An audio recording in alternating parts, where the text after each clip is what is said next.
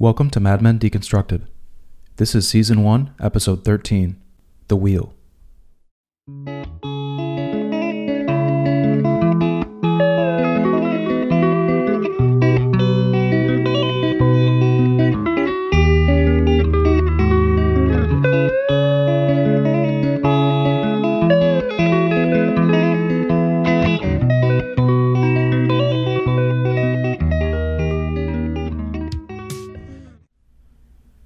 Word nostalgia comes from the Greek words nostos, meaning homecoming, and algos, meaning ache.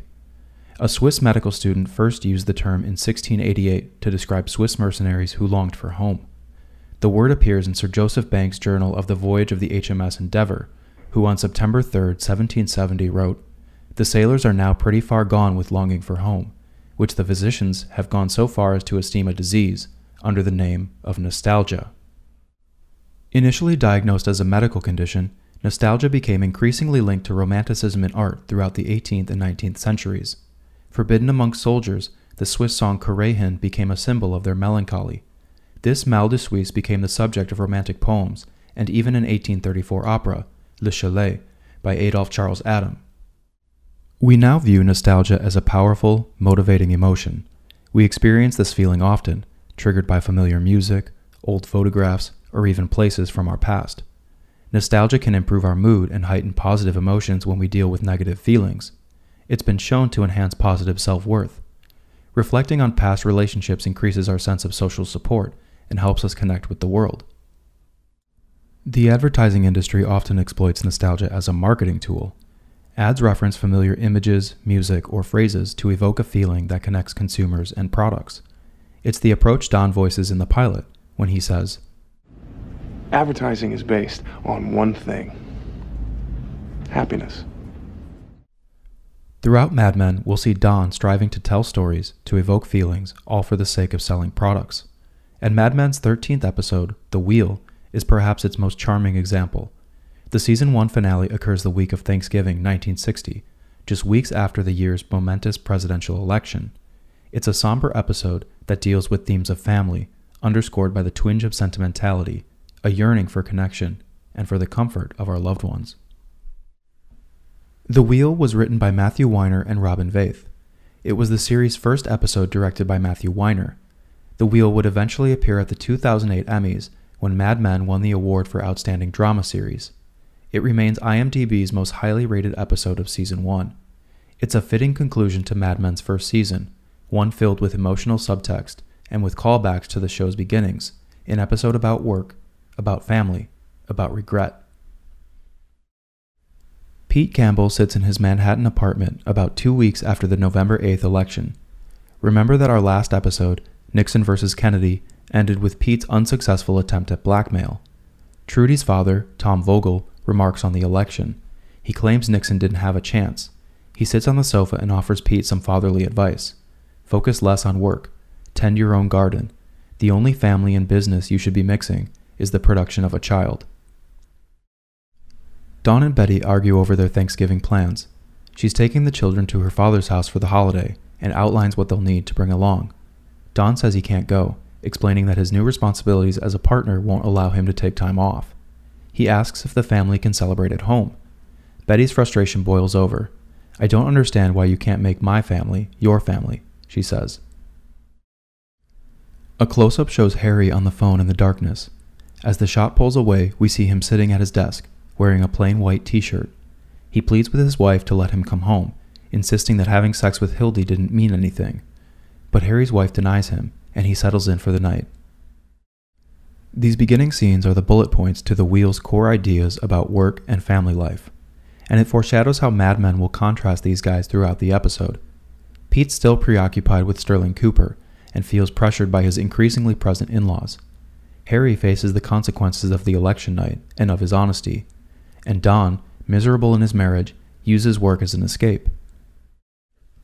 Betty returns from the supermarket the following morning and finds Francine at her door, distraught.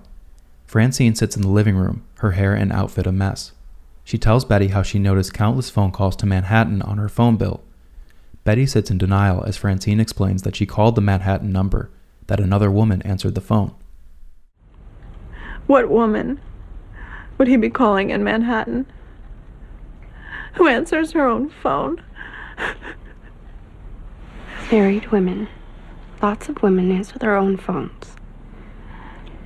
So he's calling some married woman from my house? While I'm upstairs sleeping? Maybe it's a kid, or maybe he's throwing you a surprise party.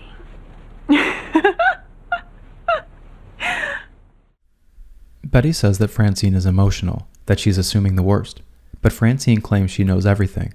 Her husband Carlton spends two nights a week at the Waldorf in Manhattan. The affair has been happening right in front of her. I'm gonna have a house full of people. I'll poison them all. His parents, my parents, my kids. Stop it. Stop that, Francine.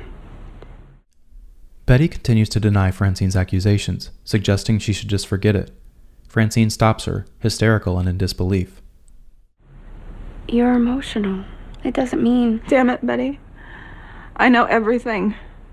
What am I gonna do? I've been sitting outside in the car. What do I what do I do? I thought you'd know what to do. Me? I, I- why? I don't know. I find this scene powerful and visually striking. The film crew develops a contrast of blue and yellow throughout several shots of Betty's living room, where she sits on a gold couch with gold colored walls, her blonde hair trimmed to her shoulders. She wears a pale blue sweater and a royal blue overcoat. The hallway behind her is painted blue. Francine seems almost hopeless in her crisis. She asserts many of the concerns of married life. Her husband is rarely home. He spends much of his time alone. But in voicing her accusations, Francine realizes that she's known about Carlton's infidelity all along. Marital age fell steadily throughout the early 20th century, reaching a low around 1960 when the median bride was just 20 years old.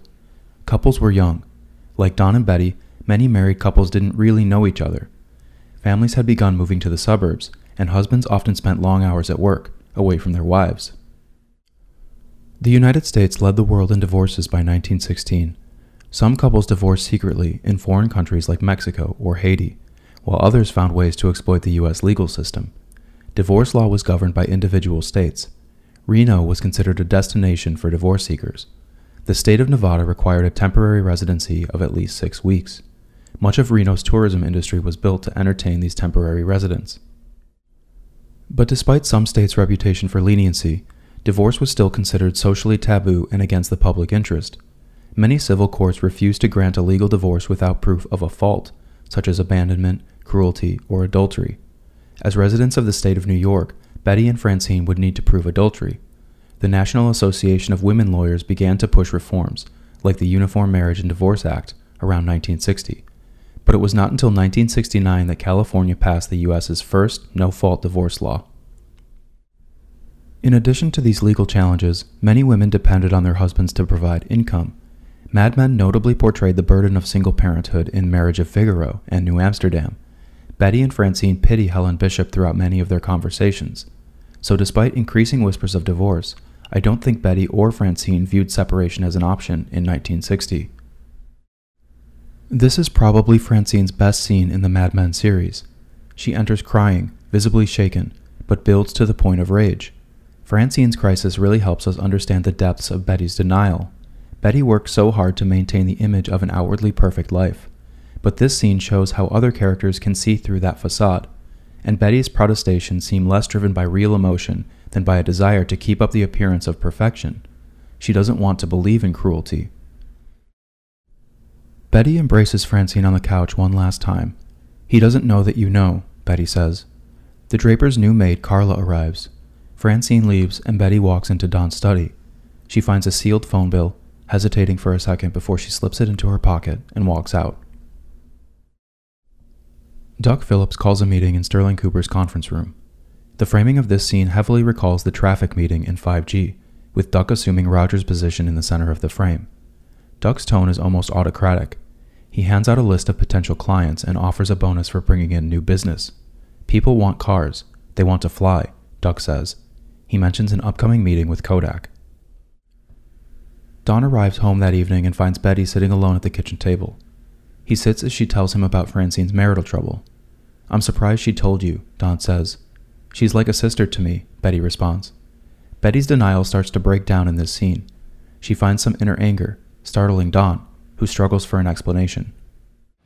How could someone do that to the person that they love? That they have children with? Doesn't this all mean anything? Who knows why people do what they do? Ken and Peggy sit in a recording booth the following day. They watch as three women audition for a radio commercial about the Relaxicizer. One of these ladies was actually a writer's assistant on the show. She's quickly eliminated.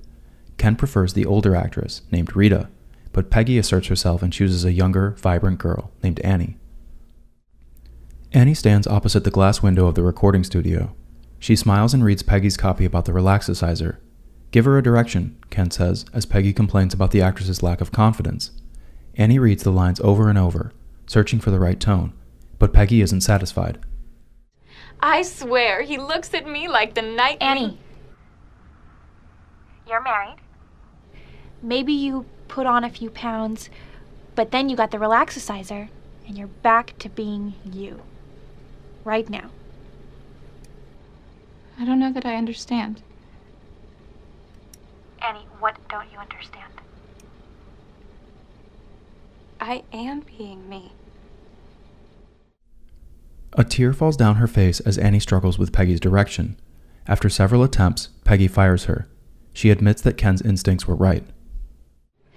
In this order, I want you to go after her and console her. Then, after you make plans or whatever you need to do, call Rita. The older lady you liked? She's probably home with the relaxicizer right now. Ken pats her on the head as he leaves. It's another reminder of how desexualized Peggy has become. The story behind her weight gain was kept secret. Many of actress Elisabeth Moss's friends expressed concern. Actor John Slattery saw Moss on set and asked if she was pregnant. But Peggy doesn't seem bothered by her weight, growing in confidence as the season progresses. The audition scene creates a striking contrast between the actress, physically beautiful but full of self doubt, and Peggy, decisive and confident. It seems like Mad Men is hinting at the idea of beauty as a symptom of vanity, and I think this can be tied to Betty Draper, another woman repeatedly fawned over for her beauty. Like the actress, Betty also struggles with self doubt. The cinematography in this audition is some of my favorite from season 1. There's a moody feeling throughout the scene, with a lot of underexposed shots. Ken and Peggy sit in the darkness, the background black behind them. Peggy utters cues into the mic as the actress's reflection looks on in the glass window. Then the actress reads lines while Ken's reflection observes from the other side. The scene's climax is a really intimate close up of Annie crying, upset, and alone. Meanwhile, Duck walks into Don's office with Kodak's new slide projector. A black plastic disc sits atop the large projector box. Duck calls it a donut and explains the purpose. It's continuous and doesn't jam. Don jokes that Kodak has reinvented the wheel. Pete lays in bed with Trudy that night. He's worried about having a child. Pete says he doesn't make enough money to provide for a family. Trudy reassures him, telling him they'll find a way to make ends meet. But Pete again senses an opportunity. He asks Trudy for help at work. Her father's an executive at Vicks Pharmaceutical. Pete implies he'll focus on his family if Trudy can get him a piece of Vicks business. It seems like another case of Pete misplacing his energy on work. Night falls as Don sits in his office looking at projector slides under the light of his desk lamp. He pulls Adam's shoebox from the drawer and looks at a photograph from 1944. In the photo, Don sits on a horse with Adam by his side. Don pauses for a moment to stare at the picture. He grabs the phone and dials the Brighton Hotel, where he last left Adam in 5G. The hotel manager hesitates for a moment before breaking the news. Jesus, I hate to be the one to tell you this, but he hung himself. Adam Whitman was introduced in episode 5. He appeared as a newborn in episode 6, Babylon, then again in Indian Summer and in Nixon vs. Kennedy. Adam chasing after his brother on the train platform is one of season 1's most heart wrenching moments. Adam's reappearance pains Don, it forces Don to remember the brother he abandoned. Mad Men shows this specific photograph several times in season 1. I've thought about this a bit, and I've concluded that the show uses the photo to establish a deeper bond between the Whitman brothers. Adam is Don's only blood relative, the only Mad Men character with connections to Don's troubled childhood. We see the depth of this bond in 5G's cafe scene. Did you miss me at all?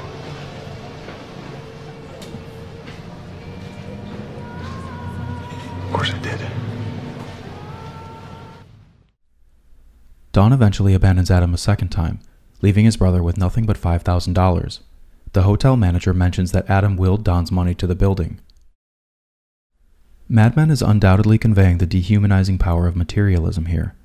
Adam didn't want Don's money. He sought a human connection, sought brotherhood. In 5G, Don justifies his detachment, declaring he must move forward with his life. And in his speech, we see Mad Men's narrative power of misdirection. We think Don's choice is about maintaining his new family and identity, but it's really about the pain Don associates with leaving his brother on that train platform. Mad Men hints at Don's inner flaws long before it introduces Adam Whitman to the story, but Adam's introduction leaves Don fundamentally shaken. I view 5G as a sort of turning point in Don's season 1 arc. It's the moment that teases out his unsettled inner conflicts, the moment when his inner identity starts to terrorize his crafted stoicism. We see this in subsequent episodes, in the cafe in Babylon, at the party at Midge's apartment in the Hobo Code, and in the final scene of Long Weekend. If Nixon versus Kennedy is Don's climactic short term triumph, then the wheel is the beginning of his long winded tragedy. Bert's memorable line, Who cares? seems to declare that Don's big lie is inconsequential. It deflates the built up suspense around Don's identity. But the wheel makes a different statement. Don's story may not doom him professionally. His past may not matter at Sterling Cooper, but it's destroying his personal relationships, leaving him isolated and alone. Don hangs up the phone distraught. He puts his head in his hands and weeps, a cigarette dangling between his fingertips, the dim light of his table lamp illuminating him against the partially open blinds of his office window. A plaque rests on the ledge behind him, reminding us how Adam entered our story after finding Don's picture in an article about an advertising award. About Adam, we can recall Don's words from the pilot You're born alone and you die alone, and this world just drops a bunch of rules on you to make you forget this basic fact. It's a brutal rephrasing of a famous, more hopeful quote from Orson Welles We're born alone, we live alone, we die alone. Only through our love and friendship can we create the illusion for the moment that we're not alone. Betty lays restlessly in the dark of her bedroom. She is alone again, sleepless and preoccupied with Don's secrecy. She grabs the phone bill, opens the envelope, and notices several calls to Manhattan. Betty sits cross legged in the hallway, her hair unkempt, a phone in one hand, a cigarette in the other. It's a childish pose, but her expressions seem resolute. A few rings elapse before a man's voice answers. Who is this? Betty asks, relieved. This is Dr. Arnold Wayne, the voice answers. Her fear turns to shock as Dr. Wayne mistakes her for another patient. She realizes that Don has been colluding with her psychiatrist. Remember in Long Weekend when Joan mentions the 1960 film Midnight Lace? Midnight Lace portrays its protagonist Kit Preston, played by actress Doris Day, gaslit by her husband and psychiatrist. Mad Men incorporates several of the movie's ideas in Betty's story. She's visually similar to Kit Preston, fashionably dressed with short blonde hair. Much like Kit's husband, Don is neglectful, unfaithful.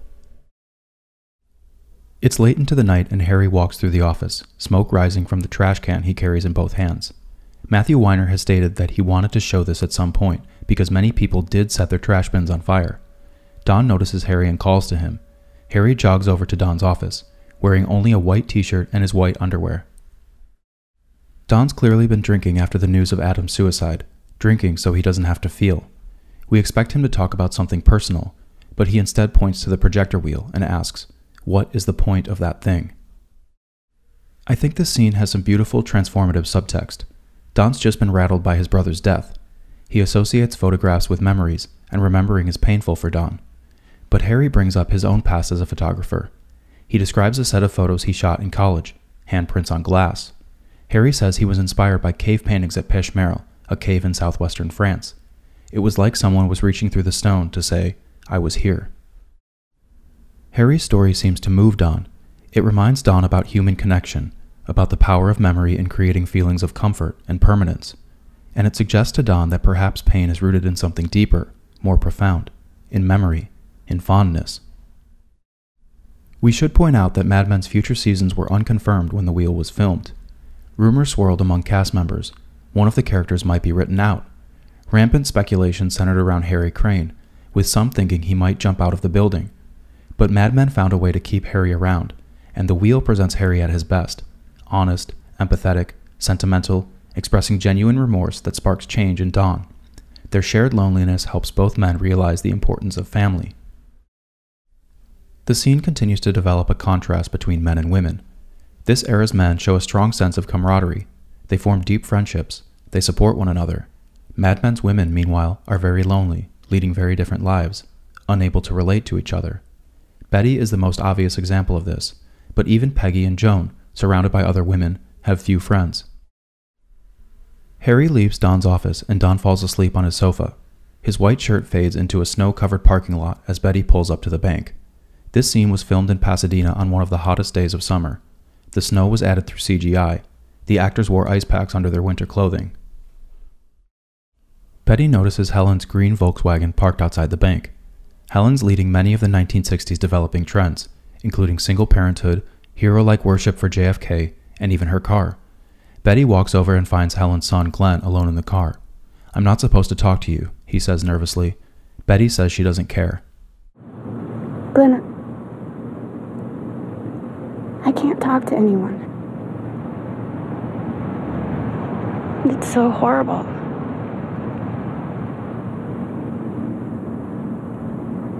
I'm so sad. He offers Betty his hand through the window. She begins to cry. Don't cry.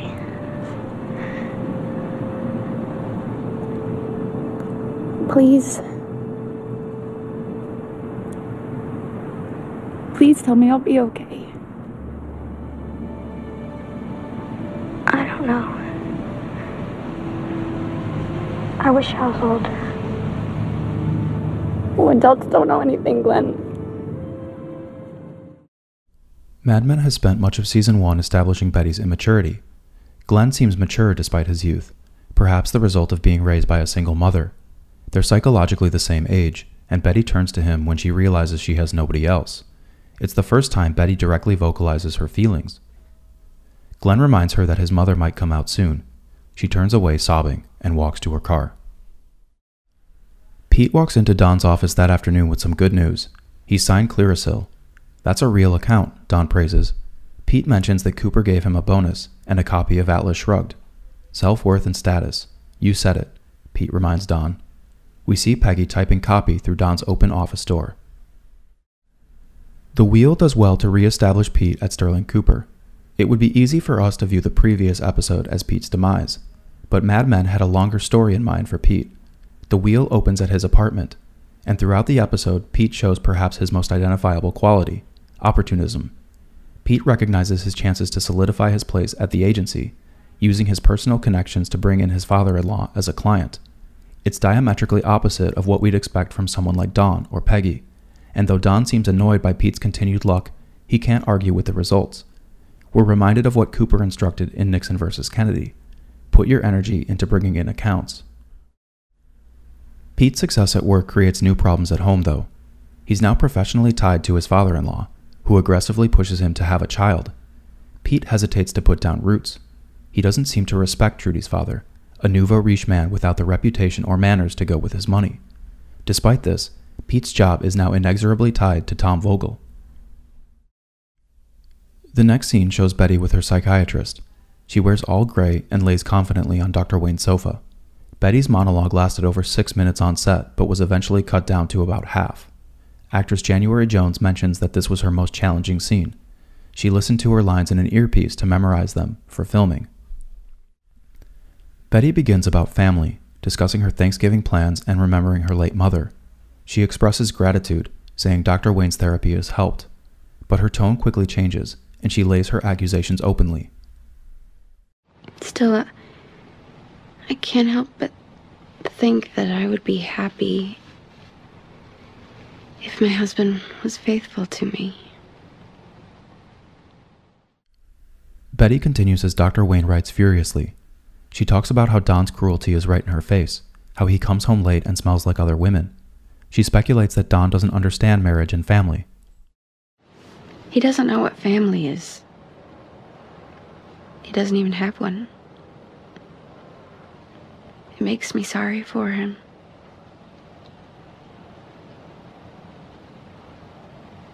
When in fact, I, I should be angry.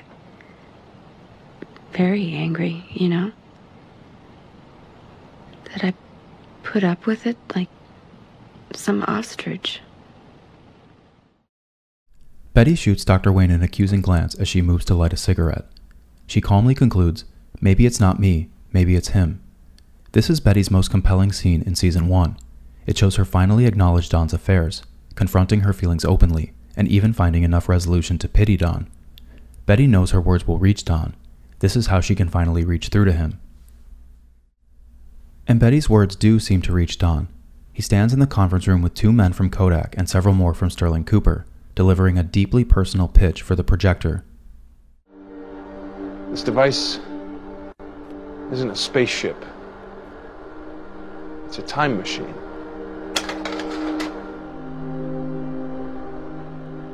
It goes backwards forwards.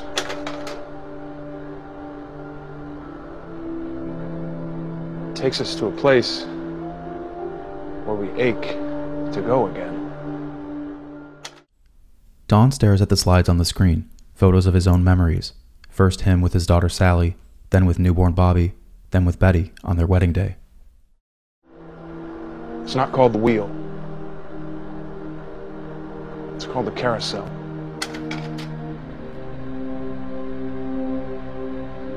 It lets us travel the way a child travels. Round and around, back home again.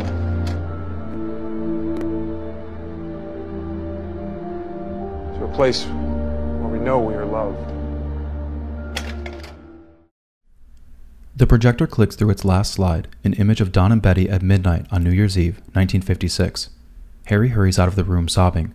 The men from Kodak are stunned. Good luck at your next meeting, says Duck. Mad Men had garnered critical acclaim before this episode, but this pitch made it a cultural phenomenon. It's one of the show's most recognizable moments, as Don pulls from his recent emotional trauma to appeal to consumer sentimentality. As he looks at the slides, Don seems to realize how much he cherishes his own family. They're a source of tranquility among his other, often painful memories.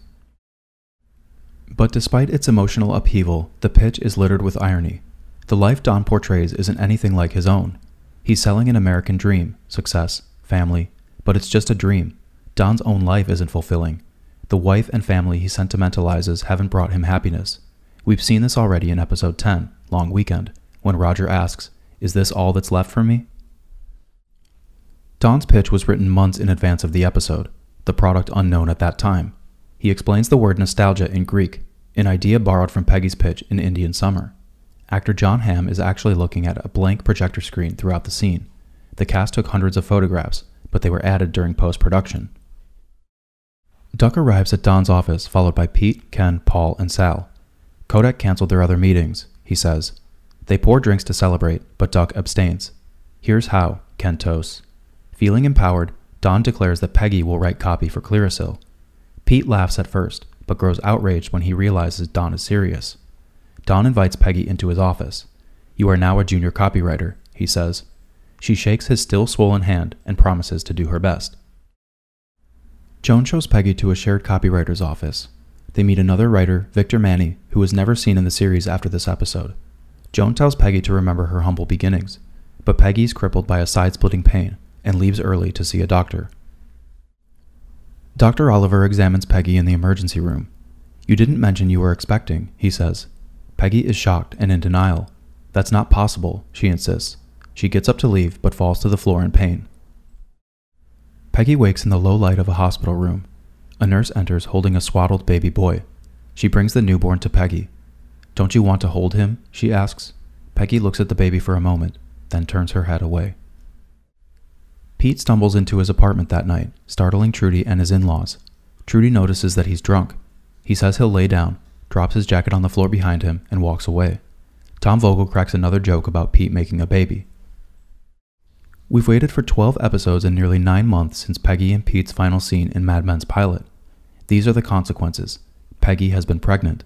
She ignored the warnings about birth control and ignored her physical symptoms, and she's now given birth to a child, Pete's child, one for whom his father in law so desperately hopes. But Peggy doesn't want a child. She rejects her mistake. Elements of Don are woven throughout Pete and Peggy's stories. This moment is no exception. Pete's hesitance to start a family seems in some way borrowed from Don's distant behavior. Despite Don's warnings, Pete imitates his destructive character flaws. Peggy isn't faultless either. She doesn't hold the child, doesn't even cry. Mad Men established this in Peggy's character as early as episode 2, Ladies' Room. She's resolute, often in denial, and in The Wheel, she coldly disavows the child, leaving it without a mother. It reminds us of Don, of his adopted parents, of his unloved youth. Don rides a train full of travelers eager for Thanksgiving. Some laugh, others carry gifts, but Don sits alone, deep in thought. He arrives at home and closes the front door behind him. Betty and the kids are packing for the weekend. I'm coming with you, Don says. Betty smiles, and the kids scream with joy. But Don's entry repeats, and we realize that the previous scene was a daydream. He calls out for his kids, for his wife, but his voice echoes through the empty house as he stands in the doorway. He moves to the staircase, a close up shot showing the deep grief on his face. He sits alone as the camera pulls away and around a corner. The music of Bob Dylan's Don't Think Twice, It's Alright plays as the episode and Mad Men's first season fade to credits. The Wheel is season one's finale, a reflective story about time, family, and regret. It's recognizable for Don's pitch and Peggy's pregnancy, but I think fans can see this episode as the beginning of the long denouement to Nixon versus Kennedy's climax. The wheel has powerful moments of its own, but those moments often prompt questions rather than offering answers. Betty's development has been slow, even frustrating to witness. She's victimized throughout season 1 and seems incapable of standing up for herself. But the wheel shows her finally acknowledging Don's infidelity and laying her veiled accusations through Dr. Wayne. It's not a total transformation for Betty, though, and we sense that her innocent demeanor is something that can't coexist with Don's abrasive selfishness. The Wheel offers, in my opinion, season one's most thoughtful portrayal of the lives of men and women. Sterling Cooper is the setting for friendships, for excess and hedonism. But while its ad men carouse at the office, Mad Men's women linger at home, alone and repressed. Betty and Francine have no one to confide in, no one to turn to for help. Even Betty's psychiatrist is deceitful. She's left to befriend a nine year old boy. We sense throughout Mad Men's finale that Don realizes the importance of family, He's recently dealt with the emotional trauma of being exposed at work, and he learns of his brother's suicide while working late one night. That powerful nostalgia Don evokes in his pitch is something he seems to pull from within himself. Family is Don's source of permanence, of belonging. The episode's final scenes hint at a possible reconciliation between Betty and Don. But that reconciliation won't happen the way Don imagines, and the Wheel's ending reminds us that Don's failures will have consequences. He's left disappointed and alone, sitting on the staircase of an empty home. Don's been the focus of Mad Men throughout season 1. It's perhaps the most thorough treatment of his character across the show's seven seasons. I think his arc embodies one of the show's central themes about desire and expectations that our dreams aren't always what we expect, that our aspirations may not bring us peace. It reminds me of an idea from HBO's True Detective. We all have what I call a life trap, a genuine certainty that things will be different, that you'll fall in love and be fulfilled, the ontological fallacy of a light at the end of the tunnel. Don shows us these relatable impulses of aspiration and achievement. It's the same new is better concept he mentions to begin the carousel pitch. I think this is human nature. A new car can captivate us, and we feel a thrill when we take it for the first drive. But after a few weeks or months, that new car is just our car. Don often voices the idea that his life moves in one direction forward. But the wheel hints that he's fallen into a cycle of wanting, achieving, and growing bored. Though he momentarily realizes the importance of his family, we wonder how long any reconciliation will keep Don fulfilled. Time and repetition are prominent themes in The Wheel. The episode offers multiple callbacks to Mad Men's pilot, even in small moments like the dissolve of Don lying on his office sofa, or Joan leading Peggy through the office. The Sterling Cooper boys rush into Don's office for another celebration, Don exacts some more revenge on Pete. Remember when Peggy tried to make a move on Don after her first day at Sterling Cooper? Peggy again reaches for Don's hand in the wheel, though this time under far different circumstances. Even Don's dream sequence mirrors the emotional tone of the pilot's closing scene, a hopeful moment with his family. The season's final shot evokes its first, with Don sitting contemplatively, alone, adrift in his own problems. The wheel, to me, represents Peggy's uplifting triumph. Mad Men portrays her resolve throughout the episode, as she earns a promotion and finds her place at Sterling Cooper. Peggy is Mad Men's most redeemable character. She encounters a culture that rejects her talent, but Peggy's success is Mad Men's hopeful response that in the end, Peggy's good ideas will drive her career forward. Some fans may criticize Peggy's decision to give up her baby. The moment continues to spark controversy. But to me, this is the final step of Peggy's character growth that began in Mad Men's pilot. The baby represents a life she could have accepted, one of misogyny and hardship. It embodies that insecure desire to belong that led Peggy to sleep with Pete. And by giving the baby away, Peggy makes a choice to reject her insecurities, to reject society's views about women and work. This is Peggy's final assertion that she controls her fate, that she belongs in the world of advertising. But Peggy doesn't leave season one without scars.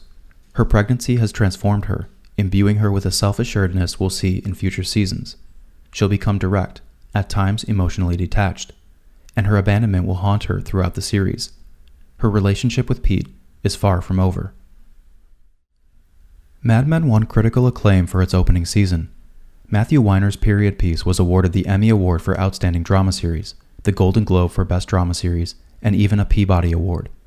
The show captivated us with its style, in homage to a decade over 50 years gone. It hinted at the social movements that would define a generation. But for all of its 1960s pageantry, for all its plaid suits and pompadours, Mad Men's themes remain timeless.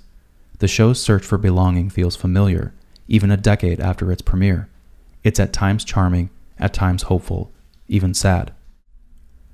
I introduced this episode by discussing nostalgia as a sort of homesickness.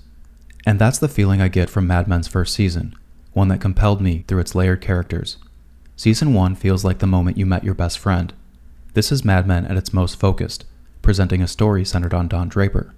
The scope will grow from here as Mad Men explores other characters Roger, Joan, Peggy, Pete, and the show will grow in style, depth, and narrative risk taking. But we can always look back to season 1, Mad Men's sentimental introduction, to remember how things began. My next few episodes will recap some of the narrative elements I found noteworthy throughout my work on season 1. These will release as bonus episodes, around 15 to 20 minutes each, and look at the season a bit more comprehensively. And that will conclude season 1, Mad Men's introduction, and the year 1960. But don't worry, there are still six seasons of Mad Men and a decade of cultural upheaval to discuss. And unlike The Wheel, we're moving forward to season 2 for those who think young.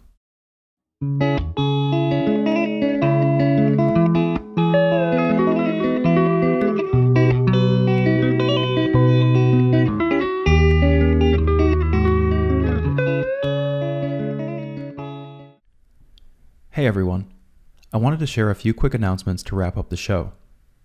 Number one, you may have noticed, but I've created some new episode art exclusively for season one.